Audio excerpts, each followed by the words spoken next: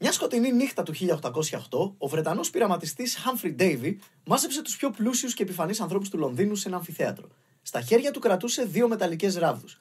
Μετά το τέλος της διάλεξης, ο Davy ζήτησε να σβήσουν όλα τα κεριά στην αίθουσα, σήκωσε τα χέρια του και ακούμπησε τις ράβδους μεταξύ τους. Και το δωμάτιο πλημμύρισε με κάτι που δεν είχε ξαναδεί ποτέ άνθρωπος μέχρι τότε. Δυνατό εκτιφλωτικό φως τη νύχτα.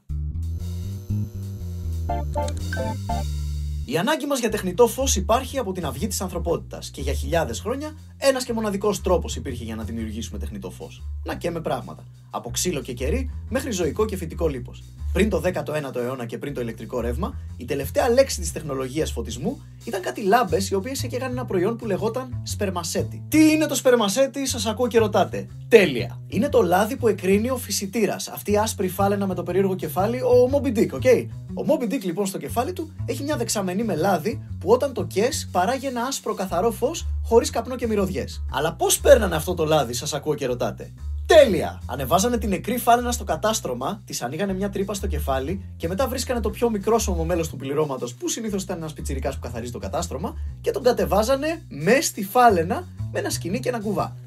Και έτσι φωτίζαν οι πλούσιοι τα σπίτια τους το 1800. Ο δρόμος προς το ηλεκτρικό φως ξεκίνησε είτε το πιστεύετε είτε όχι από ένα ψάρι. Ονομάζεται Τορπίλι και κυνηγάει τα θύματα του παραλύοντά τα με ένα απλό άγγιγμα. Το μυστηριώδες τσίμπημα της Τορπίλης ήταν γνωστό από την αρχαία Ελλάδα, από τον 3ο αιώνα π.Χ., ο Θεόφραστος ο Ερέσιο είχε γράψει για τις ιδιότητες του ψαριού να μεταδίδει το τσίμπημά του μέσα από βρεγμένα ξύλα, ακόμα και δίχτυα. Αν αγγίξει κάποιος και το δίκτυ μέσα στο οποίο πιάστηκε το ψάρι, μου διάζει ολόκληρος. Η τορπίλη μεταδίδει τη δύναμή της και μέσα από τα ξύλα και μέσα από τα καμάκια, προκαλώντας μούδιασμα σε όσους τα κρατούν. Στα τέλη του 18ου αιώνα, λοιπόν, οι επιστήμονες παρατηρούν ότι το τσίμπημα της τορπίλης μοιάζει πάρα πολύ με το τίναγμα που προκαλούν αυτές οι μυστηριώδεις ηλεκτρικές μηχανές που είναι της μόδας τελευταία. Το πρόβλημα αναλαμβάνει να λύσει ένας από τους πιο πλούσιους άντρες στην Αγγλία. Ο παθολογικά ντροπαλός Henry Cavendish. Πόσο ντροπαλός, αυτό είναι το μοναδικό πορτρέτο του Cavendish που υπάρχει και έγινε επειδή ο ζωγράφος σκίτσαρε το παλτό του όσο κρεμόταν από ένα καλόγερο και μετά συμπλήρωσε το κεφάλι από μνήμης. Οπότε ο Cavendish καταπιάνεται με την έρευνα και δεν αργεί να υποψιαστεί την αλήθεια. Το 1776 γράφει: Από την πρώτη μου κιόλας εμπειρία με την τορπίλη, φώναξα ότι πρόκειται για ηλεκτρισμό. Αλλά πώς; Προσπαθεί λοιπόν με αυτό εδώ το πείραμα να εξομοιώσει το τσίπημα της τορπίλης και το κάνει, αλλά με μία διαφορά.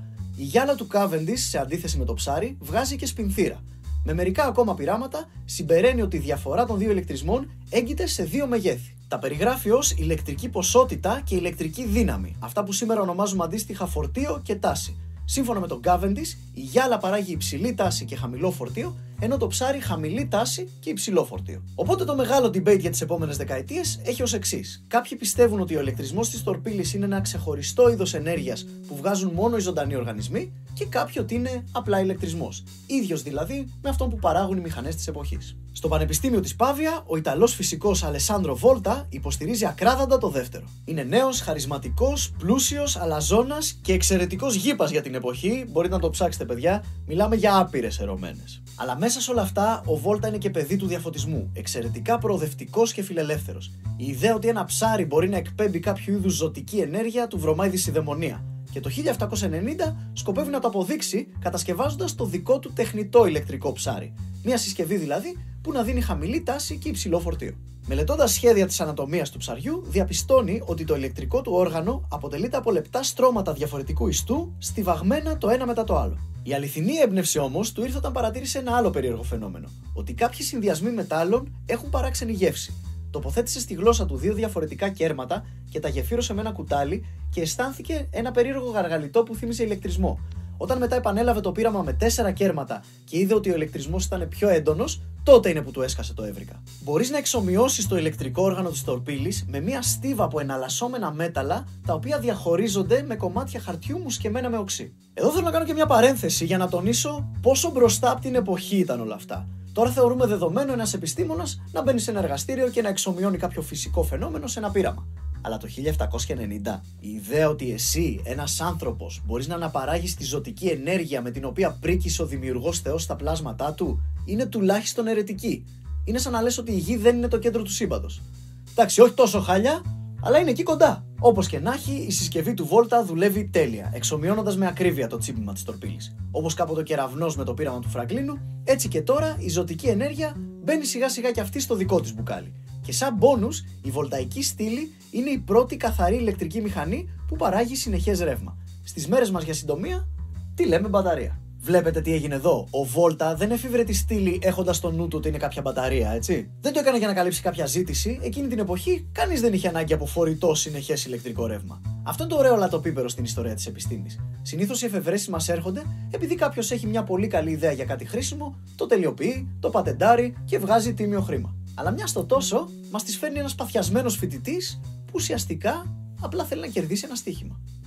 Η στήλη του Volta δεν άργησε να βρει και πρακτικές εφαρμογές. Λίγες εβδομάδες μόλις μετά την ανακάλυψη, το συνεχές ρεύμα χρησιμοποιήθηκε για να διαχωρίσει το νερό σε οξυγόνο και υδρογόνο.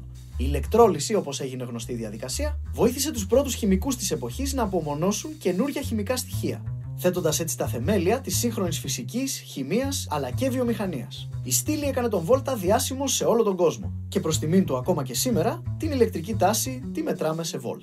Και κάπου εδώ φτάνουμε στο 1808 και στο αμφιθέατρο του Humphrey Davy που ξεκινήσαμε την ιστορία μας. Τα δύο ηλεκτρόδια που φώτισαν το δωμάτιο ήταν συνδεδεμένα με το υπόγειο, όπου ο Davy είχε φτιάξει τη μεγαλύτερη μπαταρία στον κόσμο, 800 βολταϊκές στήλες ενωμένες σε σειρά. Με το που άγγιξε τις ράβδους, ο ηλεκτρισμός πήδηξε από τη μία στην άλλη, δημιουργώντας έτσι έναν συνεχόμενο φωτεινό σπινθήρα. Το κοινό εντυπωσιάστηκε και σύντομα οι πρώτες λάμπες ηλεκτρικού τόξου φώτισαν τις ευρωπαϊκές πρωτεύουσες, δημιουργώντας έτσι μια νέα αγορά για ένα νέο προϊόν, το ηλεκτρικό ρεύμα. Αυτή η αγορά θα προσελκύσει την επόμενη γενιά εφευρετών όπως ο Τέσλα και ο Έντισον, οι οποίοι με τη σειρά τους θα βάλουν το ηλεκτρικό ρεύμα μέσα σε κάθε σπίτι. Για μένα, η στιγμή που ο Humphrey Davy άγγιξε τα χέρια του είναι η στιγμή που η εποχή της φωτιάς τελειώνει και η εποχή του ηλεκτρισμού, η δική μας εποχή, ξεκινά.